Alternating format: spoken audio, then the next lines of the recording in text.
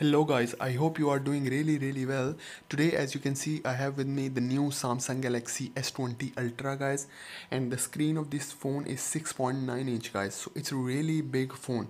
And today I will tell you how you guys can make one-handed mode on this mobile phone guys. So you can use even uh, with one hand the big screen guys. And you can have all the features in one screen. So first of all you will go in the settings so when you go into the settings you have to uh, tap on an option and the option is advanced features guys. This is the option advanced features.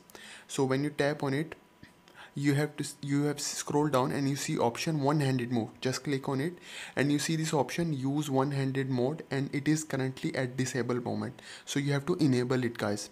So there are two options gesture and button. So you will se select gesture or button. I like button so i can select button.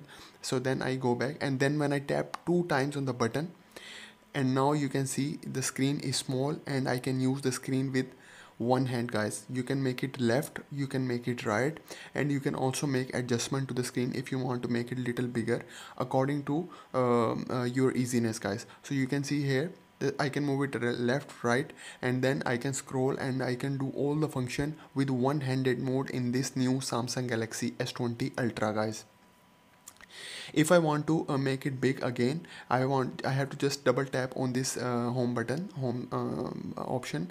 And then you can see when I double tap it will go back to its normal mode which is the full screen mode in this S20 Ultra guys. So this is a really amazing this is a really cool feature in this phone and you can utilize it. And you if you want to use it one-handed mode uh, you can do it. Just you have to go what you have to do you have to go into the settings option. So here I go settings option. Then I go advanced advanced features then the other option I have to do one-handed mode. When I cl click on it there is option use one-handed mode. You can disable it you can enable it's up to you what which option you want. So um, so I hope you like the video. Please do subscribe to my channel. Thank you very much